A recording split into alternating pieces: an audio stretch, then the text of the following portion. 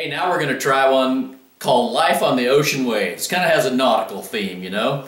Uh, think about sailors, waves, you know, moving. It kind of got that feel like you're in a boat.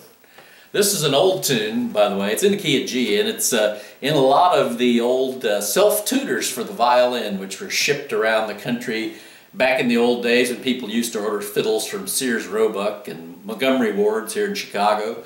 They'd send a little self-tutor for the violin along so that if you're out in a sod hut out in Nebraska somewhere trying to learn to play the fiddle, you'd have this book to go by. And a lot of times this tune would be included in such books. Life on the Ocean Waves.